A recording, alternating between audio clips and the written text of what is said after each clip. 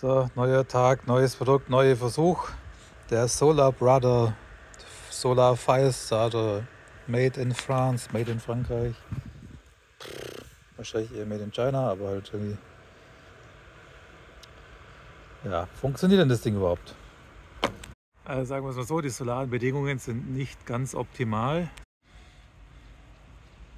Und wie Sie sehen, sehen Sie nichts. Also sobald da eine Wolke ist, ist es vorbei.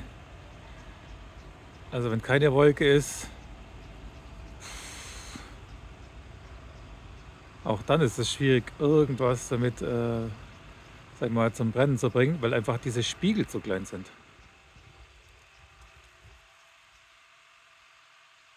Im Prinzip schon eine gute Idee. Pfiffig gemacht, kompakt und so, aber zu wenig Power. Die Spiegel sind zu klein. Wahrscheinlich ist auch die Idee, dass man durchgucken kann, es genau auf die Sonne ausrichten kann und dann hoffentlich den Strahl optimal fokussiert hat. Aber ja, da tut sich gar nichts. Also hm, möchte ich mich nicht drauf verlassen müssen.